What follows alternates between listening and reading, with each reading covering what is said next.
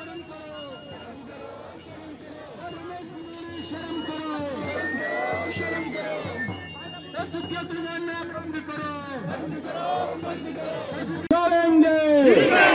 लड़ेंगे।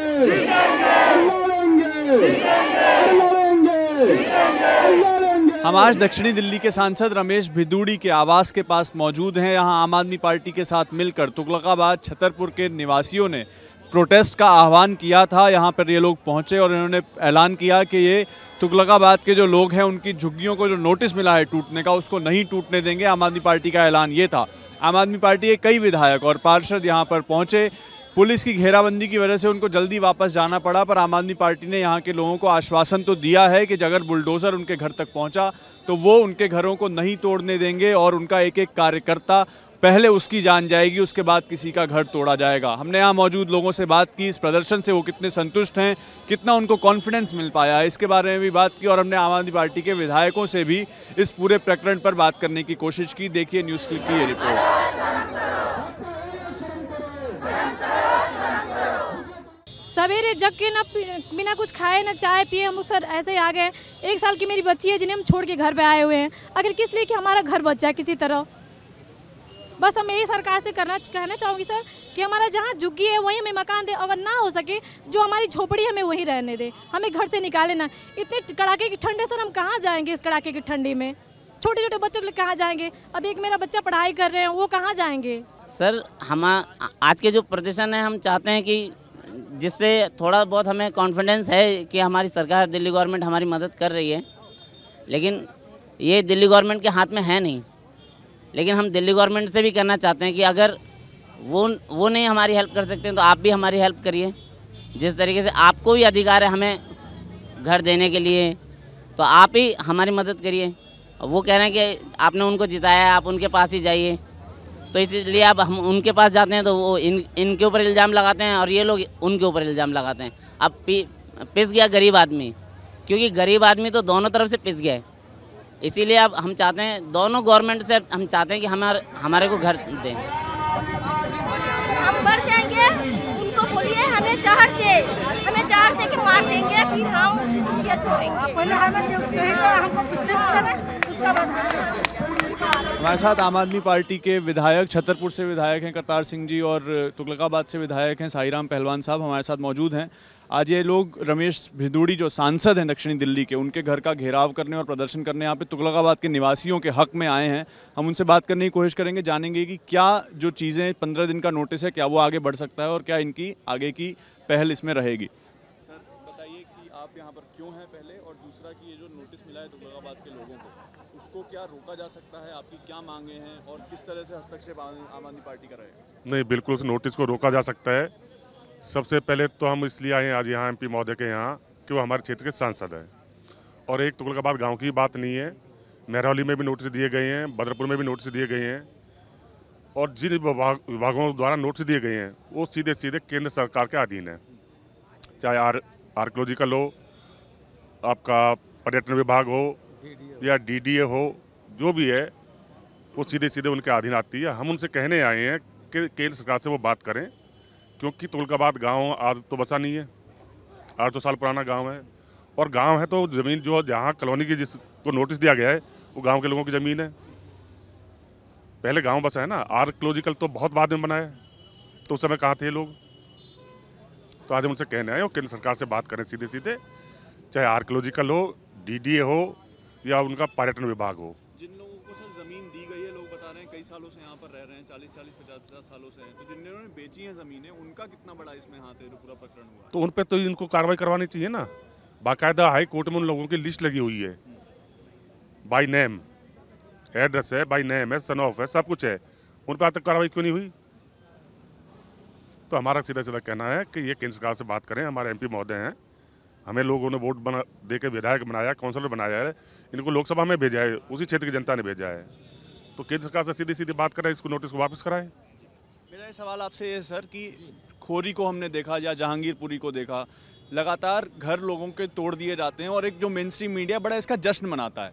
मैं यही समझने की कोशिश कर रहा हूँ, जब से हम जो लोग कवर कर रहे हैं कि किसी का घर टूटना, जश्न की बात कब से हो गया, सर? आप ये आपको क्या लगता है कि किसी का घर अगर तोड़ दिया जा रहा है, इतने साल से लोग रह रहे हैं तो इसका जश्न मनाना, इसको सेलिब्रेट करना कि हाँ ये तो घुसपैठिए थे हाँ ये तो कब्जा करके रह रहे थे, इस पर आप इसको किस तरीके से देखती है आपकी पार्टी? ये बड़ा दुख का विषय है।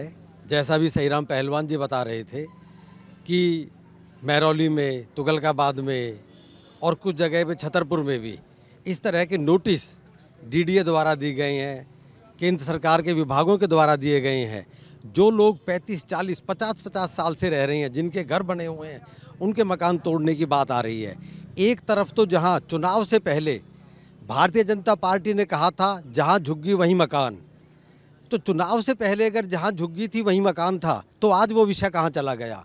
अब चुनाव के बाद भारतीय जनता पार्टी की सरकार जो केंद्र की सरकार है उन झुग्गियों को क्यों तोड़ना चाहती है? हमारा यही कहना है। कि जो लोग बहुत समय से वहाँ रह रहे हैं, ये उनका अधिकार बनता है। पहले उनको मकान दिए जाएँ, बाद में कहीं तोड़ने की बात आए और वहीं पे जहाँ झुग्गियाँ, वहाँ पे पहले मकान बनाए जाएँ। छतरपुर में भी इस तरह से कई चीज़ें हैं जो डीडीए के अधीन में आती है। आज हम सभी लोग, ये जो जनता है, सारी त्रस्त है। रमेश विधूड़ी जी सांसद हैं, छतरपुर विधानसभा, तुगलकाबाद, महरौली, सभी उनके दक्षिणी दिल्ली के संसदीय क्षेत्र में आती है और ये विषय केंद्र सरकार का है। ये ज़िम्मेदारी बनती है सांसद होने के नाते उनकी। जनता के प्रतिनिधि हैं कि जहाँ पर डीडीए इस तरह की कार्रवाई कर रही है, ये इसको आगे आए, रोके आके इलेक्शन से पहले बीजेपी ने कहा था, जहाँ झुग्गी वहाँ मकान देंगे। तोड़ने की तो बात ही नहीं थी, मकान देने की बात थी। आज बीजेपी भाजपा इसको तोड़ने जा रही है। तुगलकाबाद को ले लो। छतरपुर में ऐसी बहुत, छतरपुर विधानसभा में ऐसी बहुत सी कॉलोनी संजय कॉलोनी है खरक गाँव है। आज से कुछ महीने पर पहले इलेक्शन से पहले इसको तोड़ दिया गया था डीडीए ने। ऐसी बहुत जगह है। पाँच छः कॉलोनी जो छतरपुर विधानसभा तुगलकाबाद में आती है।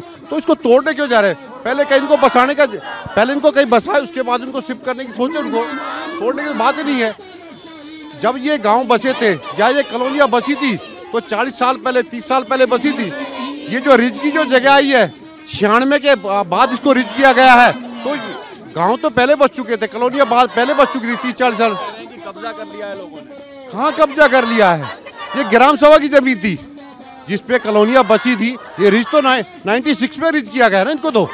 तो आज ये रिज कहाँ से आ गई है? तो जो भी इनको करना है, बीजेपी को करना है, बीजेपी के अंडर आता है, जितना काम आता है तो इनको पहले बसाने की इलेक्शन से पहले बहुत बड़े बड़े वादे किए गए थे। जहाँ झुग्गी वहाँ मकान देंगे। तो पहले इनको मकान दीजिए ना पहले आप। हमारे घर टूटे पड़े हैं रोड पे रह रहे हैं हम। अब बच्चन के पेपर आ रहे हैं कहाँ जाएँगे कहाँ नहीं जाएँगे। हमारा खरक पूरा टूटा पड़ा है।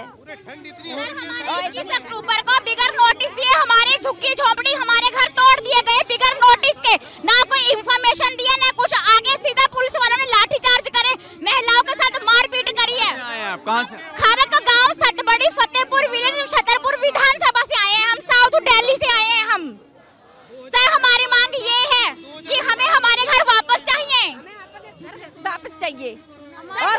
का ऑर्डर था 2022 में 2019 का ऑर्डर था 2022 में तोड़े गए हैं। पूरा गैर कानूनी अधिकार। और जब मजिस्ट्रेट से पूछा गया कि 2019 का ऑर्डर था तो मजिस्ट्रेट बोला हमने कोई रिव्यू ही नहीं दी। हमारे से कोई परमिशन ही नहीं ली गई कि जी इनको तोड़ना है। तो ये इस तरीके से गैरकानूनी तरीके से काम करते हैं कि कोई मतलब ही नहीं है कि कानून तो इन्होंने अपने जेब में रखा हुआ है। इलाके में कितने घर तोड़े गए? हमारे इलाके के अंदर कम से कम 40 से 45 घर तोड़े गए हैं। और सारे के सारे लोग अब ये सारे परेशान हैं। सर आज तीन महीने हो चुके हम रोड पे पड़े हैं, पन्नी तान तान के हमसे कोई ये पूछने भी नहीं आया, आप कैसे रह